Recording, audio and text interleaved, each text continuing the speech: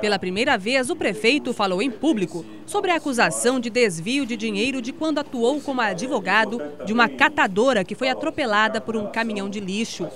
O advogado atual dela estaria dizendo que Bernal pegou o dinheiro da indenização para ele, que nega. O dinheiro está depositado numa conta judicial, disponível para a dona Dilá, né?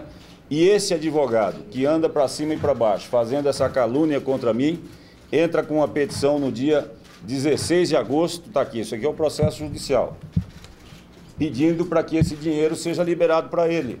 Eu estou entrando com ação é, indenizatória, já fiz a representação perante a Ordem dos Advogados do Brasil.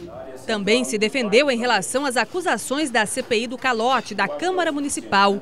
O primeiro ponto quanto a isso foi sobre a contratação da empresa Salute, que fornece alimentos para os CEINFES, que seria uma empresa fantasma. Não reconhecem que nós conseguimos fazer economia. Compramos por 2 milhões a menos. A Salute está entregando a mercadoria conforme combinado no contrato. Não existe empresa fantasma que entregue.